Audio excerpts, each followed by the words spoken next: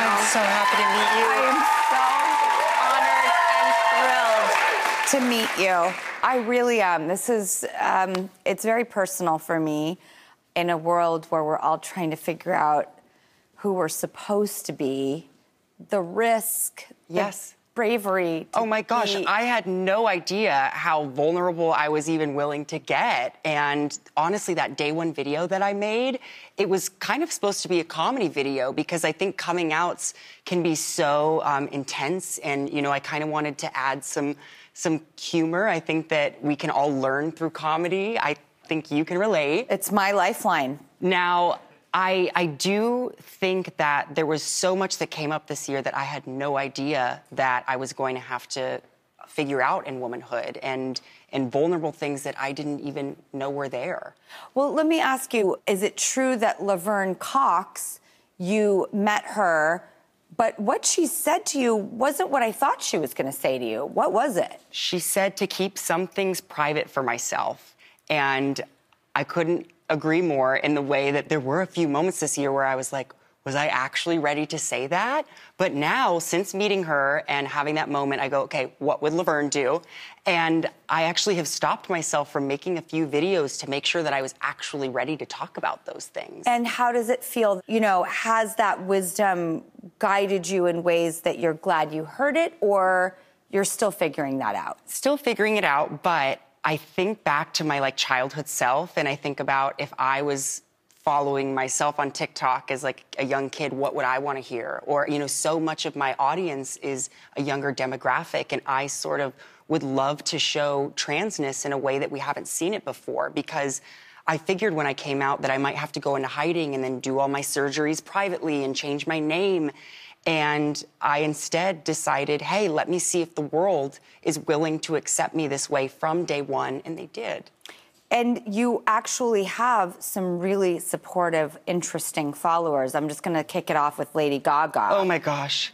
I love her. I, I mean, I, I had the Born This Way ball like poster on my my wall, and now, you know, she every video there's like a little something from her, and I can't wait to meet her. That's the best part. I will say there's so much hatred and drama, and you know, just things get convoluted, but getting to meet you know my role models, even you today, is like it's the best part. Not gonna lie. Let me ask you about the negativity. How have you dealt with it? And, and what's an approach you take? What's your self talk? What do you filter? Yes. How do you? I still read the comments, but there is so much hatred directed at the trans community right now. It's everywhere. And I think the greatest weapon that I can contribute is trans joy and comedy and talking about hard, you know, subjects and really intricate moments of a transition and try to let everybody in to see that, you know, I'm not a monster. I'm not somebody that, you know, um, is trying to, to do anything but be myself and be happy.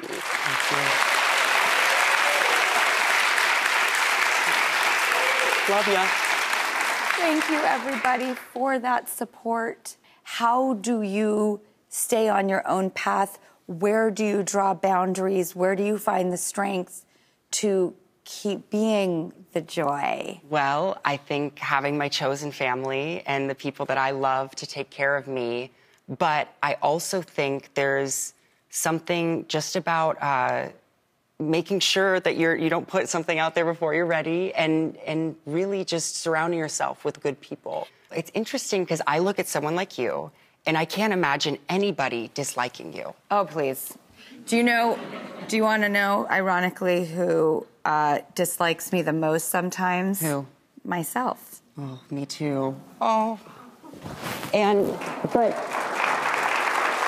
I guess, you know, you've asked me now, like, you've asked me, like, what I would do to combat the hate, right? Yeah. But what do you do?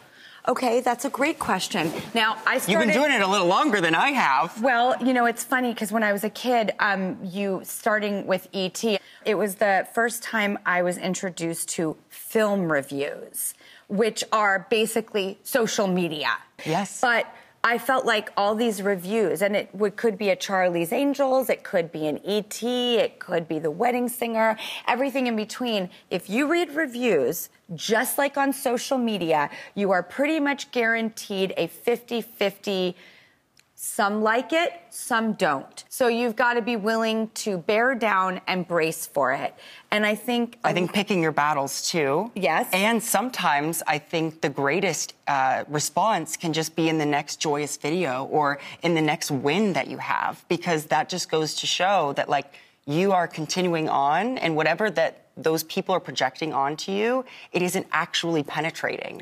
I couldn't agree more because another thing that you're making me realize is to not carry on in spite of others. I'm sorry, I just realized that I'm sitting on the floor with Drew. I'm so happy to be doing this. Thank you for oh. joining me on the floor. The floor always feels safer. It feels nice. All right, we have to go to a quick commercial break. I don't want to, but the good news is we'll be right back. We'll be